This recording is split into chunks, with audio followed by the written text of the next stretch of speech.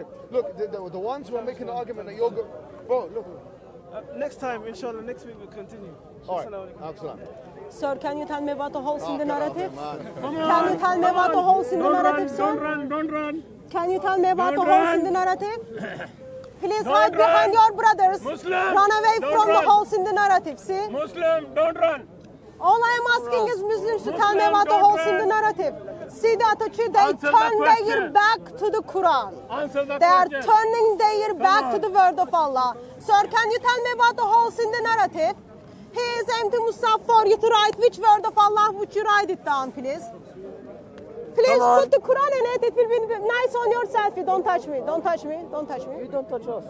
I'm not touching you. You're right behind You're us. such a liar. You just touched me, sir. Look at her. Around I am men. asking Islamic Dawah gangs to answer the holes in the narrative. And they choose to walk away. Can you imagine it's been years after years? Look at the please, Muslims please, help, away. help him to run away. Please, please, help him to run away. away. Can any Muslim answer me why there are holes They in the no when it comes to the account of so-called seven Amrufs and Kurat?